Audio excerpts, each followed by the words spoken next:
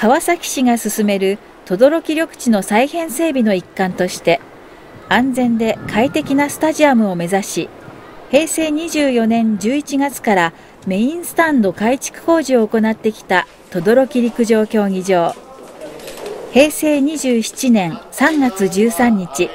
新しいメインスタンドの完成を祝い記念式典が行われました。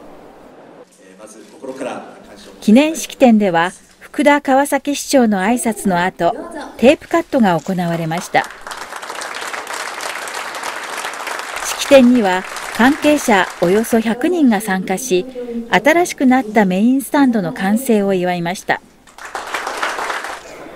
また川崎の魅力を発信するため今回新たに設置された藤子キャラクターのブロンズ像の除幕式も行われました。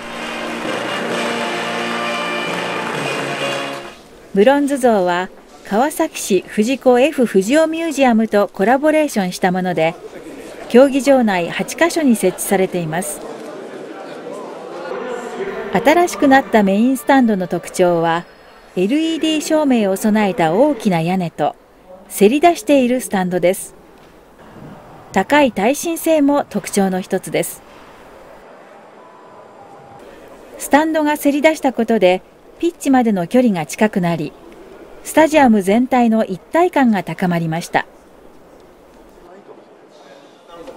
観客席には一般席のほか、ファミリーやグループでの観戦に対応したバラエティシートが作られました。今回の新メインスタンド完成により、座席数は大幅に増え、およそ2万7500人となりました。